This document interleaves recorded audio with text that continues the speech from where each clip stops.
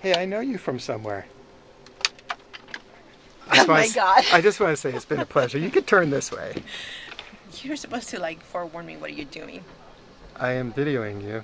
I just want to say we've had a lot of fun over the years. Yes, we have. It was definitely more fun in the old days. We really had fun in the old days. Yes. When we actually used to go out. You didn't have to work so much.